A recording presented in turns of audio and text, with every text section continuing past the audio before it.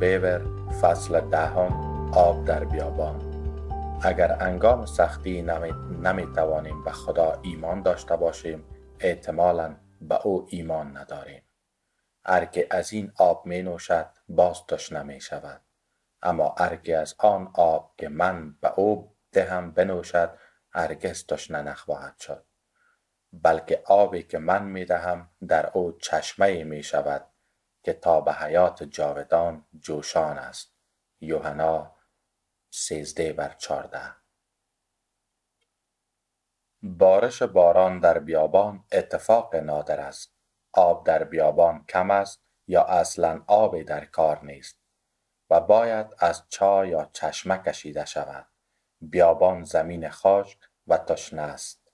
بنابراین عیسی ما را با این کلمات دعوت می کند هر که تشنه است نزد من آید و بنوشد هر که به من ایمان آورد امان گونه که کتاب می گوید از بطن او نهرهای آب زنده روان خواهد شد.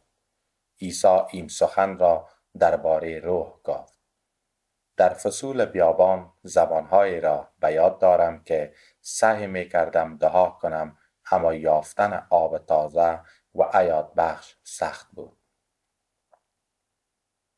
در چنین موقعی بود که برای جستن خداوند چادرم را برداشتم و به یکی از پارک های بزرگ منطقه رفتم تا بعد از ظهر و صبح روز بعد از آنجا بگذرانم. آن شب دها کردم و چند سرود خواندم. این کارها تقریبا سه ساعت طول کشید ولی به نظر به جایی نمی رسیدم ای چیز تازه پیدا نمی کردم و چشمه وجود خشک خشک بود. با کمال نومیدی به بستر خوابم خیزیدم و سعی کردم سر به بالش بگذارم. احساس می کردم اما ارواح شریر از این که نمی توانم خوب بخوابم پایکوبی می کنند. آن شب اصلا خواب خوبی نداشتم. پهلو و پهلو غلط می زدم. و از خودم می پرسیدم چرا خدا خود را به من نشان نداد؟ صبح روز بعد بیرون رفتم و در مسیرهایی که در پارک طیبه شده بود قدم زدم و در روح دعا کردم اما باز زمین وجودم خشک خشک بود. این وضع یک و نیم ساعت ادامه داشت. نهایتا سر بلند کردم و گفتم خداوندا فکر می کنم در بیابان هستم. با خود فکر می کردم بهتر است به خانه بروم و دیگر به دنبال خدا نباشم. او مرا به این بیابان آورده و تا وقت مرا بیرون نیاورد چیز تغییر نخواهد کرد. اما این فکر اشتباه بود. خدا ما را به بیابان نمی آورد تا خسته و تسلیم شویم و نهایتا او با اقتدار مطلق خود شرایط ما را تغییر دهد. قصد او از بیابان شکست خوردن ما نیست بلکه می خواهد در این دوران پیروز شویم. در همین حین ناگهان نوای از درونم شنیدم که می گفت جنگ و همین یک کلمه آتش و حیاتی بود که احتیاج داشتم. فورا گفتم عطای خدا را در من برانگیز. بیایید و حیاتی بود که احتیاج داشتم. فورا گفتم عطای خدا را در من برانگیز. بیایید آبهای حیات و جوش. ای چشمه روحم آن لحظه اتفاقی که برای اسرائیلیان در بیابان افتاده را به یاد آوردم. از آنجا به بحر کوچ کردم. امان چاهی که خداوند دربارش به موسی گفته بود. قوم را گرد آورد تا به ایشان آب دهم.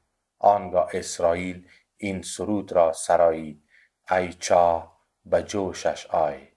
برای سرود خوانید. وقتی این کلمات از کتاب مقدس را تکرار می کردم دهای من قوی و قوی تر شد و دیدم که در آن مسیر به سرعت راه می روم. دها می کنم و کلام خدا را با قدرت و حرارت اعلام می کنم. همه چیز تازه شد و من شخص متفاوت شدم.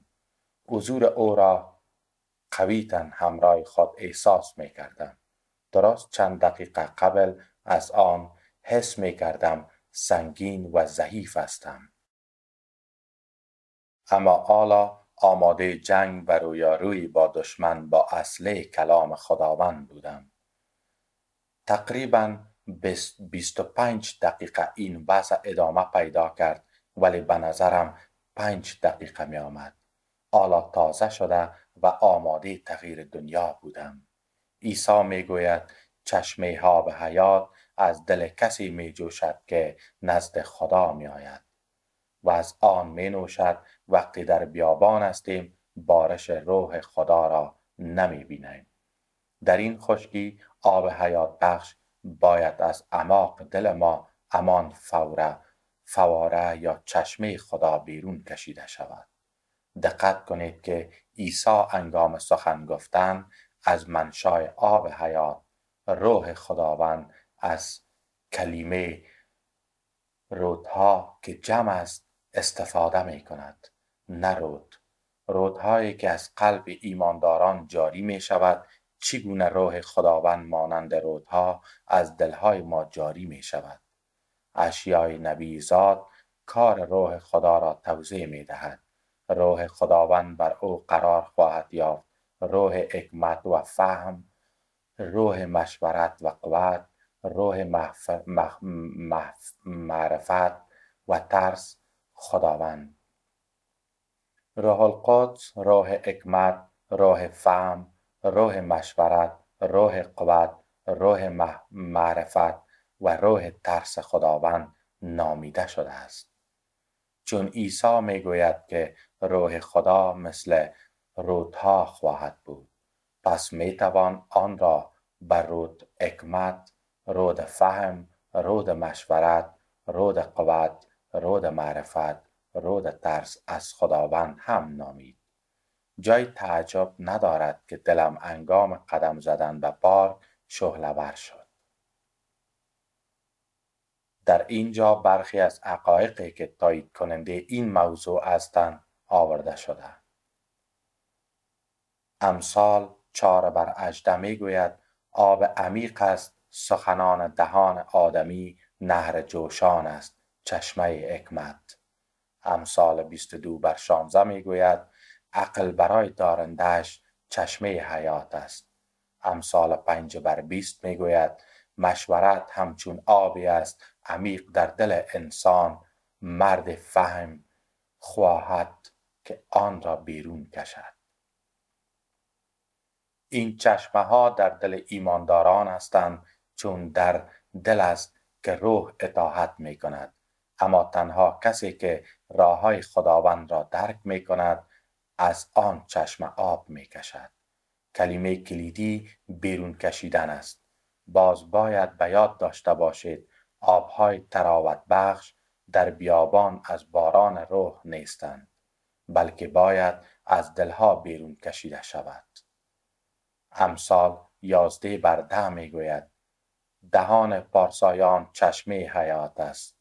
امثال 23 بر 15 می گوید برای انسان از جواب دهانش شادی حاصل می شود اگر من در پارک به سمت چادرم برمیگشتم و می‌گفتم من به خانه برمیگردم و دست از جستن او می‌کشم او مرا به بیابان کشانده و تا وقتی که مرا از آن بیرون نیاورد اوضاع تغییری نمی کند سنگینی بار خود را با خود به خانه می بردم. اما آنچه را که خدا در دلم گذاشت اعلام کردم و با امین کار قوت مورد نیاز برای بیرون کشیدن آب از چارا پیدا نمودم. من چشمه زیرزمینی از نجات را پیدا کرده بودم و از آن چا عمیق آب تراوت بخش بیرون کشیدم. این کار واقعا مانند نوشیدن آب سرد از چشمه وسط بیابان بود. بسیاری در این دوران به آب و علف تسلیم می شوند ولی خدا می گوید جلو بروید نایستید اما باید در وجود خود انگیزه پایدار و استوار داشته باشیم که تا تحقق اراده خدا ما را در مسیر درست نگه دارد. بسیاری از ایمانداران در دوران بیابان دست از دها می کشند چون آبی از چشمه وجود آنها بیرون نمی آید و ادامه مسیر به نظر سخت می رسد. آنها ضعیف هستند و خدا می خواهد آنان را تقویت کند تا برای جنگی که در آینده با آن مواجه می شود آماده باشند. ما قوت آب کشیدن از چشمه وجودمان را از کجا پیدا می کنیم؟ از شادمانی؟ پس با شادمانی از چشمه های نجات آب خواهد کشید.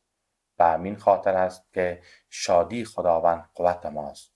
شادمانی نیروی روحانی است که ما را تقویت می کند شادی خداوند چیست؟ سالیان سال فکر می کردم که شادی خداوند شادمانیای است که او در خود دارد. این مفهوم را درست درک نمی کردم و حرف خدا اصلا این نبود. تا به حال شنیده که کسی در مورد آشپزی از عبارت شادی آشپزی استفاده کند. آشپزی کردن به خودی خود شادی ندارد. منظور گوینده این است که به واسطه آشپزی کردن حس شادی به ما دست می دهد شادی خداوند شادی است که ما به واسطه رابطه خود با او تجربه می کنیم او سبب شادی ماست. حس نکردن حضور او انگام دعای انفرادی به این معنا نیست که او منکر ما شده است. نباید بر اساس احساسات خود تصمیم بگیریم که شاد هستیم یا نیستیم. حس شادمانی بیشتر بر اساس آن که او است و سودی که ما از رابطه با او برمیبریم شکل می‌گیرد.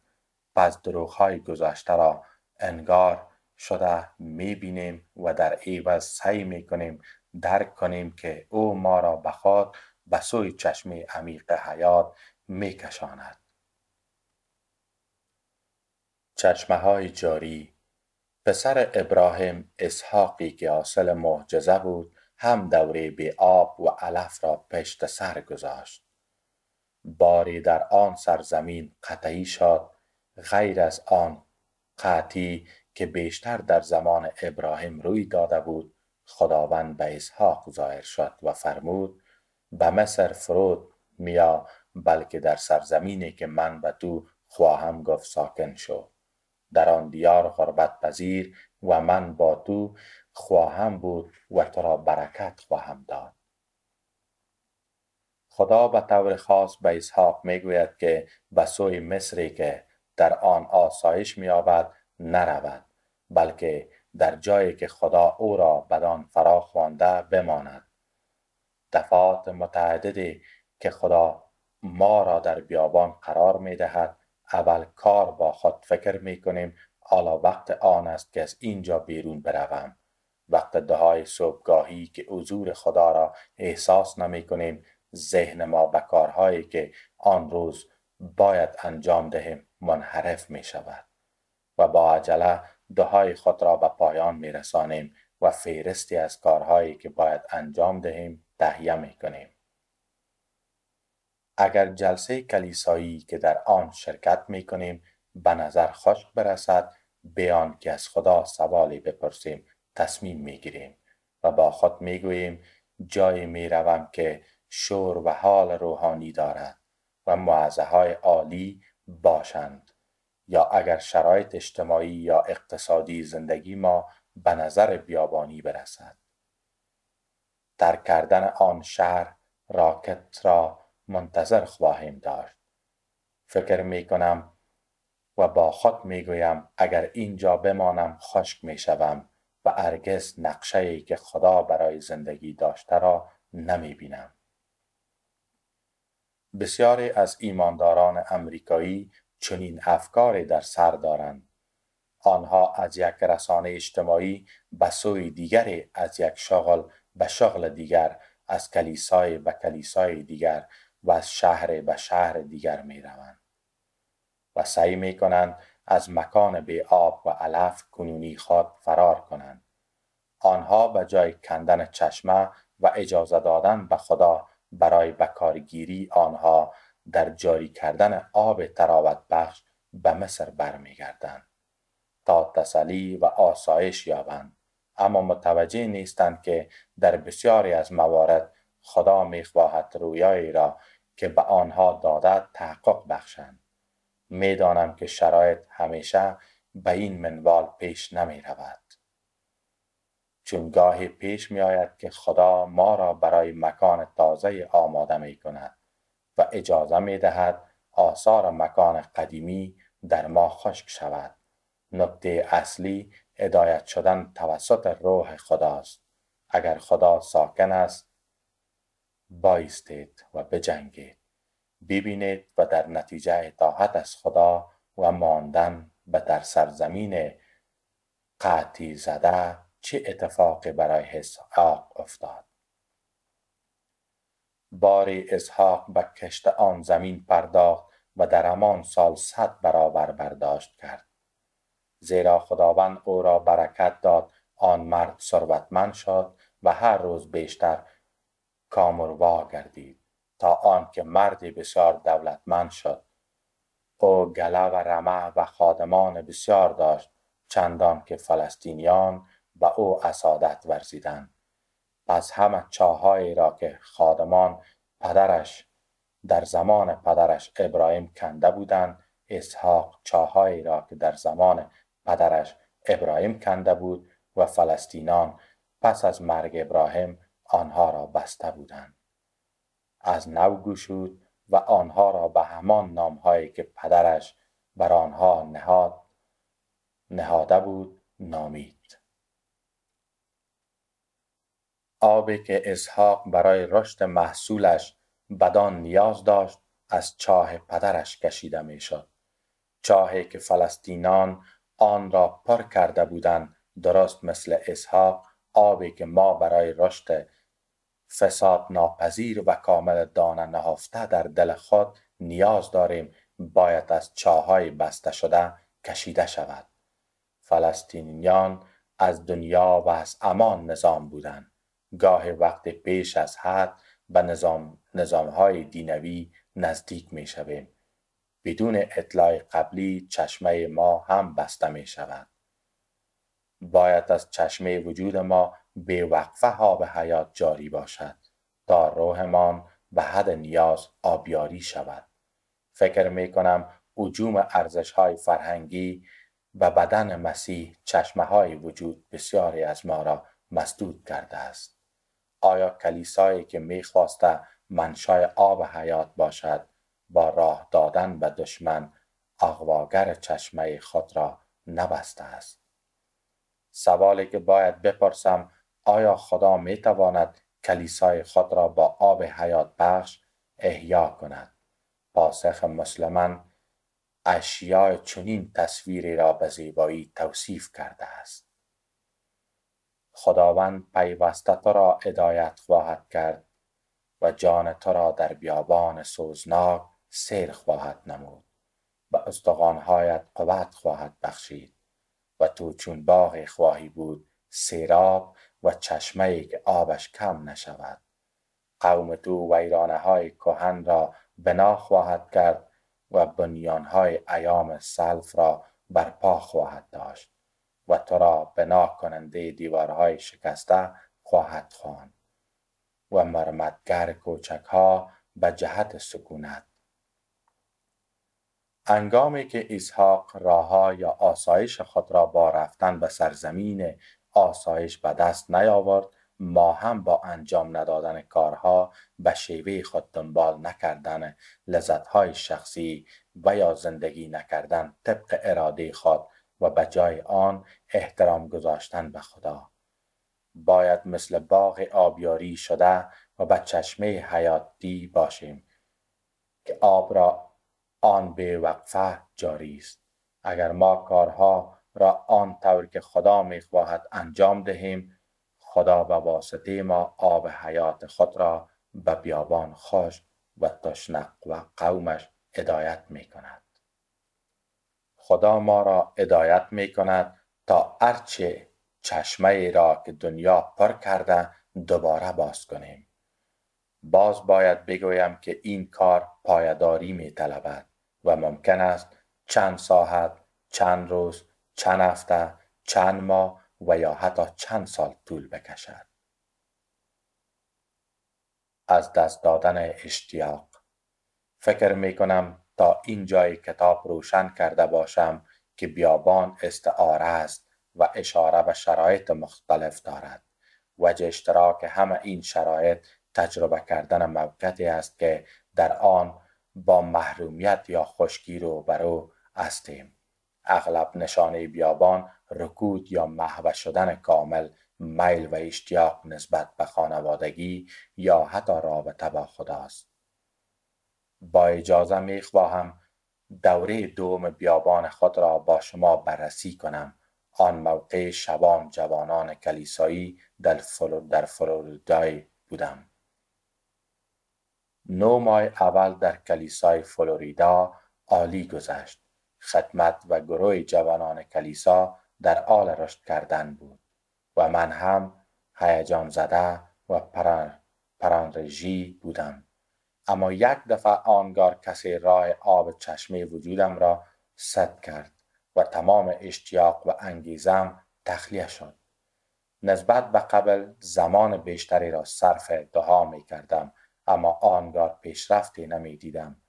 مسئله فقط این نبود رویایی که برای گروه جوانان داشتم هم به نظر کمرنگ می شد شراب کهنه بیرون ریخته می شد هرچه بیشتر دعا می کردم رویایم دورتر از قبل به نظر می رسید از نظر ظاهری تغییر رخ نمی‌داد ولی باطنا تغییراتی در راه بود. به علاوه همه اینها و در میان همه این اتفاقات من و لیزا آزمایشات بیرون بیرونیایی را تحمل می کردیم که تا به حال تجربه نکرده بودم بزرگ بزرگترین آزمایش کدام بود. ناظر مستقیم من بر زدم در حال پرنده سازی بود و می‌خواست کاری کند که اخراج شوم. مشکل از آنجا شروع شد که پسر ناظر من در گروه جوانان کلیسایی ما بود و شب بعد از جلسه جوانان پیش لیزا آمد و گفت خواهر لیزا چطور می توانم طبق موعظه جان زندگی کنم؟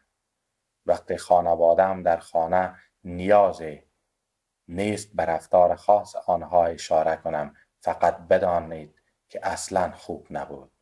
لیزا حسابی شوکه شده بود و با حکمت به او مشورت داد که بر کلام خدا پافشاری کن و والدینت را به خدا واگذار کن ولی داستان به امین جا ختم نشد.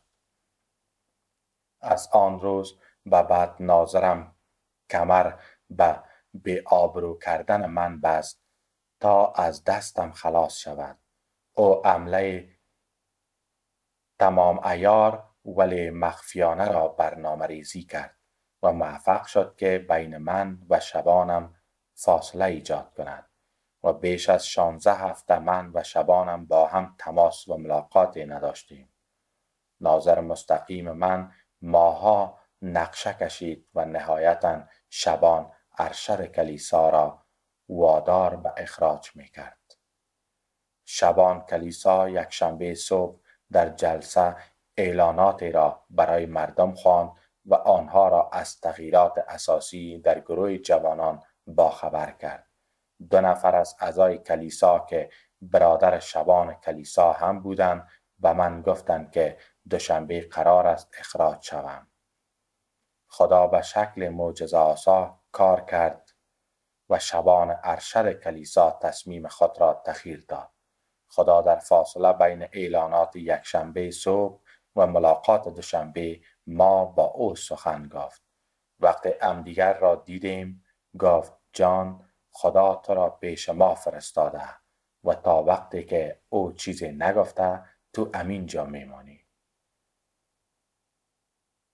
شش ماه بعد رفتار ناظر من برملا شد و فورا او را از تیم کلیسایی اخراج کردند کاری که می کرد آنقدر بد بود که هیچ کدام از ما حتی تصورش را هم نمی کردیم. من در این دوره فقط با این مشکل روبرو نبودم و جنگ های بیرونی دیگری هم داشتم ولی جنگ های درونی هایی که با خود داشتم تا به حال مثل آنها را تجربه نکرده بودم مجددا از خود پرسیدم که شاید ایراد از من باشد پس هر گناهی که می توانستم به یاد آورم. و ممکن بود مرتکب شده باشم. را اعتراف کردم. ولی از این عمله ها یا خشکی نمی توانستم تسلی پیدا کنم.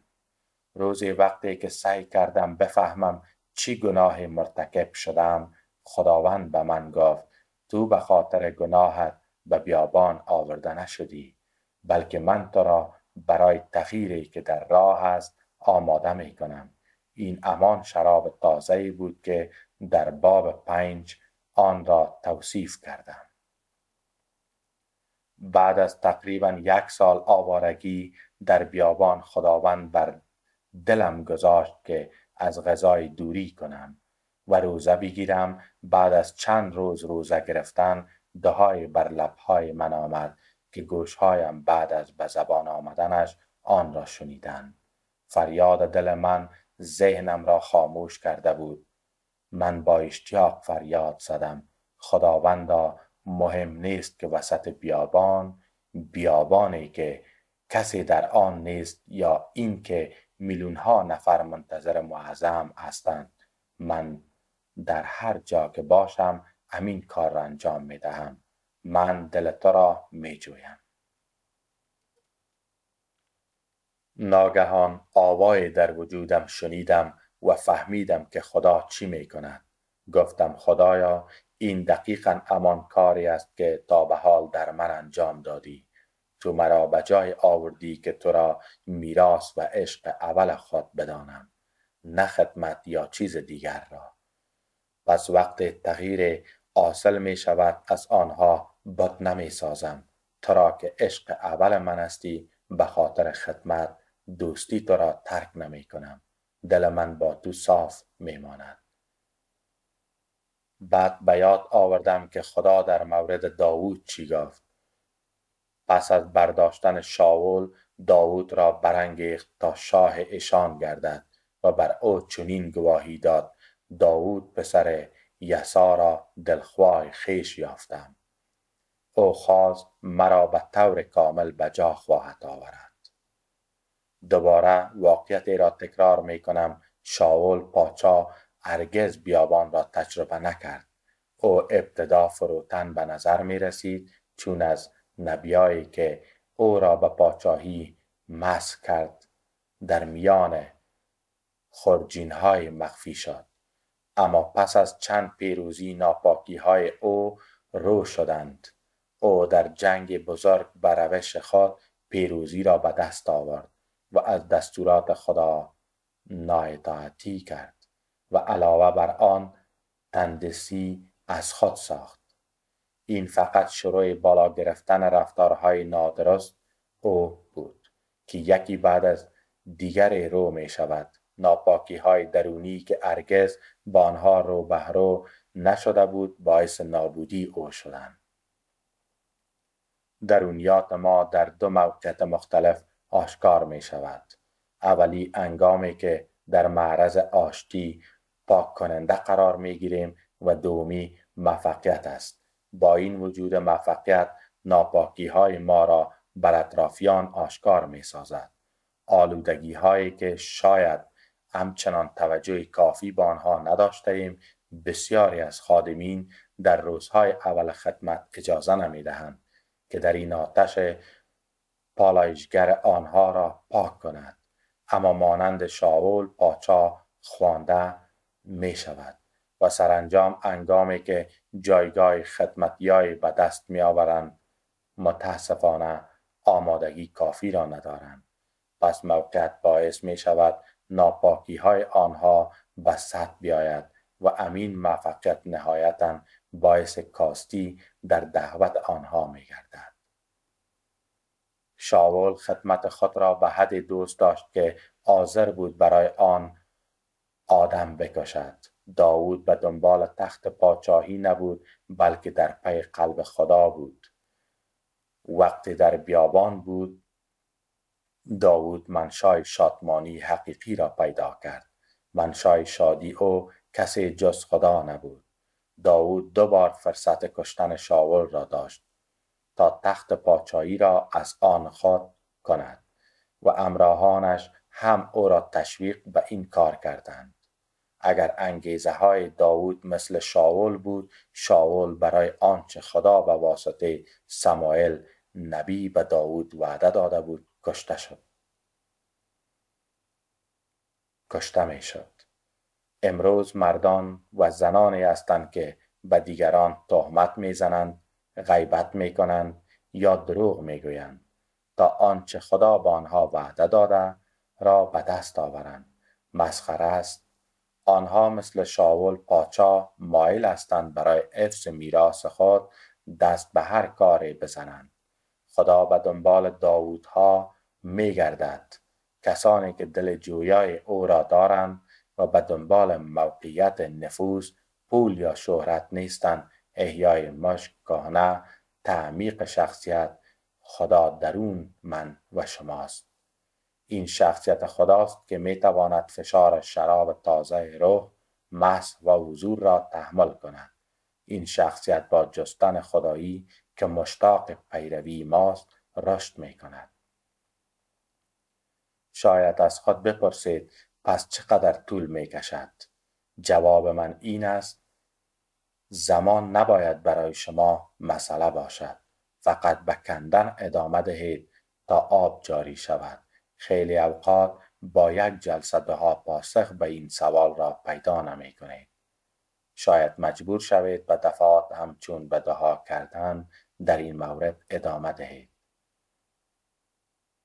وقتی در دالاس زندگی می کردم و به عنوان دستیار به شبان ارشد و همسرش خدمت می کردم هر روز صبح با دوست عزیزی که آن موقع دستیار شبان در تیم کلیسا بود دها می کردیم.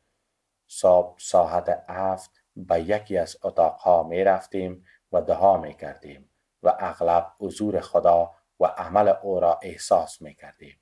اما بعضی روزها ساعت هشت و نیم صبح وقتی که کار باید شروع می شد می رسیدیم و باید به سمت دفتر می رفتیم و کار را شروع می کردیم در آن شرایط گاه احساس می کردیم توان حرکت نداریم. چون کار پیش نمی رفت آب تراوت بخش پیدا نمی کردیم. چشمه های انوز باز نشده بودند. صبح روز بعد باز از جای قبل دها را شروع می کردیم.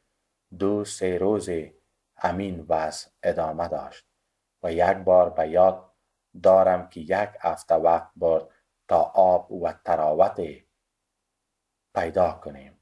با این حال با آسل کردن پیشرفت آب تازه و قوت حاصل از آن را به چنگ می آوردیم.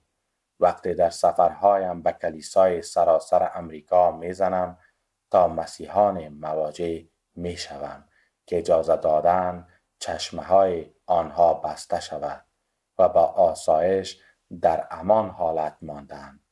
واقعیت اجدار دهنده این است که حس می کنم اکثریت در چنین شرایطی هستند. اگر چنین ایمانداران اعطای آسمانی را در خود برنگ برانگیزند و اجازه رها شدن به آن بدهند چه اتفاقی میافتد زندگی ها خانواده ها و کلیساها تغییر می کند امریکا تغییر می کند اعطای خدا در بسیاری از ما دست نخورده باقی مانده است. اما عطا اگر چشمه ها و نظر بسته می آیند روح منتظر باقی می ماند به کندن ادامه دهید آب تازه را در بیابان هم پیدا می کنید. نکات برای زنده ماندن در سفر بیابان داروی سر شادمانی. وقتی در دوران بیابان هستید براحتی ممکن است فقط به شرایطتان نگاه کنید. ولی می‌خواهم رازی را در این مورد با شما در میان بگذارم که مرا در دوره بیابان نجات داد. اسم این راز را داروی سر شادمانی گذاشتم.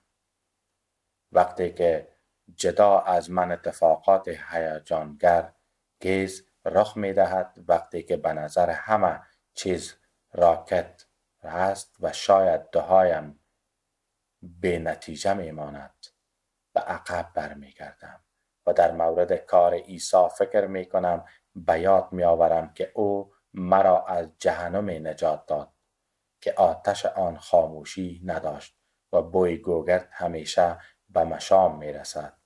جهنمی که برای شیطان خلق شده نه برای من. اما شیطان انسان را فریب داد و او را با خود به جهنم کشاند. با این حال عیسی مسیح خداوند من جان خود را داد تا من نجات یابم. وقتی این کار را می کنم وقتی بر او چشم می دوزم وقتی بر می گیزم که شاکر باشم و زندگی را از ازلی می دانم. ناگهان موقت کنونی من به اهمیت به نظر می رسد. داروی سر شادمانی من یادآوری تمام چیزهایی که باید برایشان شکرگزار باشیم و چشم دوختن به عیسی مسیح.